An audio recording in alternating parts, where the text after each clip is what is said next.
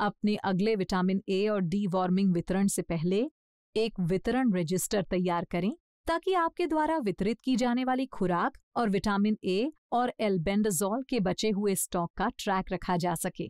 वितरण के दौरान अपने शुरुआती स्टॉक को नोट करें और फिर विटामिन ए और एल्बेंडाजोल की प्रत्येक खुराक को रजिस्टर में नोट करें।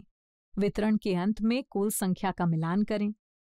आपके द्वारा वितरित की गई खुराक की संख्या और शेष बचे हुए स्टॉक पर ध्यान दें। उदाहरण के लिए, एक वर्ष से कम आयु के पंद्रह शिशुओं को 27 फरवरी 2022 को खुराक दी गई थी, जिसके बाद आपके पास विटामिन ए, ब्लू कैप्सूल के चार कैप्सूल बचे और इसी प्रकार बाकी भी नोट करें।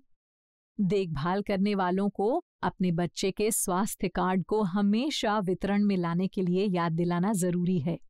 क्योंकि ये बच्चों की उम्र और पिछली खुराक कार्यक्रम की पुष्टि करने में मदद करता है। खुराक देने के बाद खुराक की तारीख के साथ बच्चे के स्वास्थ्य कार्ड को भी अपडेट करें।